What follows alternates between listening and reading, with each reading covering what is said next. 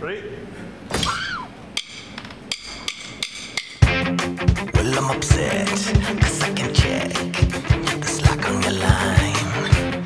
Speaking free, like we used to be, for such a long time.